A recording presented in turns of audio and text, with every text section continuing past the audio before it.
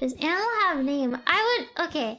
My friend, my friend, my friend is named Friend because I would forget. If I forgot friend's name, I'd be really sad. Animal's named Animal because I know it's an animal. So it's animal. Animal is animal. Friend is friend. Animal is animal. Simple.